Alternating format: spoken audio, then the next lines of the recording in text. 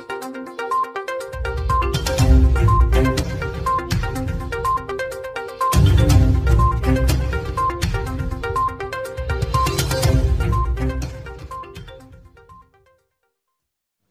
मैं हूँ पांडे और आप देख रहे हैं भारत आज तक। आज की कुछ खास खबरें इस प्रकार हैं। अखिल भारतीय अखाड़ा परिषद के अध्यक्ष व निरंजनी अखाड़े के महंत श्री नरेंद्र गिरी व उनके शिष्य योग गुरु स्वामी आनंद गिर के बीच विवाद लगातार गहराता ही जा रहा है। अब स्वामी आनंद गिर ने एक वीडियो वायरल करके बड़े हनुमान मंदिर व बाघम्बरी मठ के धन का दुरुपयोग करने का आरोप लगाया है।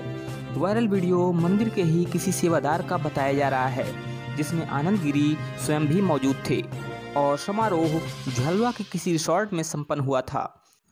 इस समारोह में जमकर नोट उड़ाए जाने और साथ ही बार बालाओं के होने की भी बात कही जा रही है। खैर, सच्चाई क्या है, ये तो समय ही बताएगा। बने रहिए हमारे साथ।